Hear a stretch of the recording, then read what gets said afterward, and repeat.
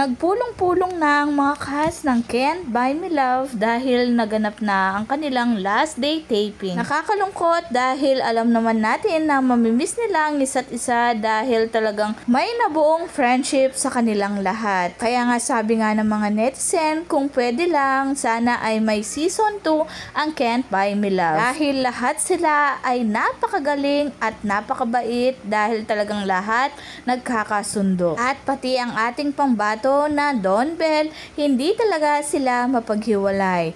Malamagnet ang kanilang katawan kahit sa picture ay dikit na dikit. Kaya napakomment ang mga netizens, sabi ay, I say off cam it's different. Kaya yung fake news, di ko alam kung sang source niya nakuha yon. Kailan mo i-issue ang Don Bell sa isa't isa, Eme?